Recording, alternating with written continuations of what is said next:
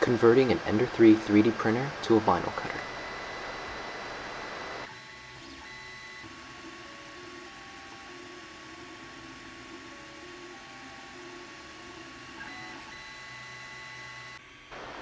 So this is your average Ender 3 Pro, which I'm going to be converting into a vinyl cutter. The first step is to buy some stuff. So you need the blade, some vinyl, and you gotta wait for it to come in the mail.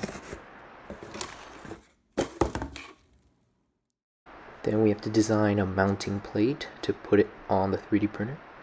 And you, you gotta make it.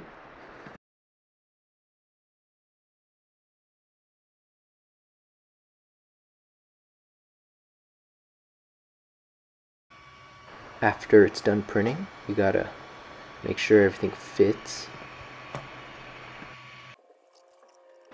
Now you have to carefully install it on the 3D printer head. I designed it to work behind the BL Touch. The stock screws that come with the printer are long enough to go through a BL Touch and the mount. It also hits the X-axis stopper. Now you have to put the blade into the blade holder thing.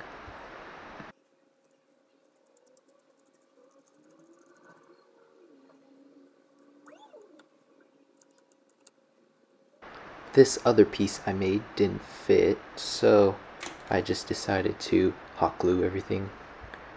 Now the next step is to create the sticker. The sticker should be one layer tall. You also have to change all the settings in your slicer. We just want to make it so that the printer outlines the design. Imagine if the nozzle was the blade.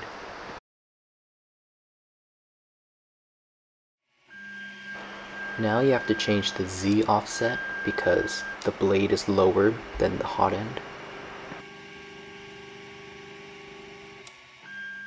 It's also designed so that the BL touch is lower than the blade.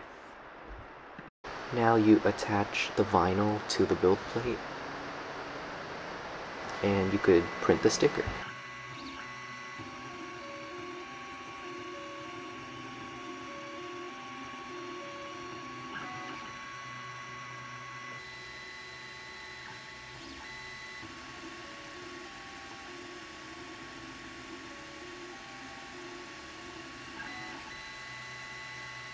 After it's done, all you have to do is peel it off and stick it somewhere.